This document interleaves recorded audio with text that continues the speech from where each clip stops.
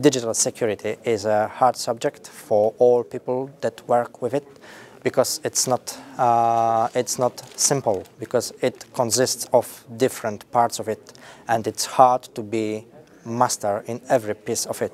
So it's important in every country to build a good teams of people who are keen on some part of it. And then when you have a good team, you have a good results.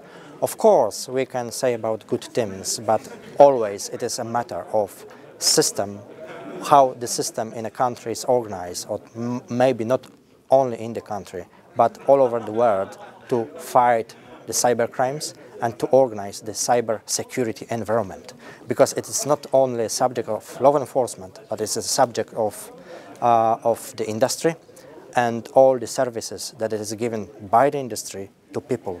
Because sometimes it's hard for law enforcement to give uh, good services to the society because some obstacles from the industry or from the legal rules.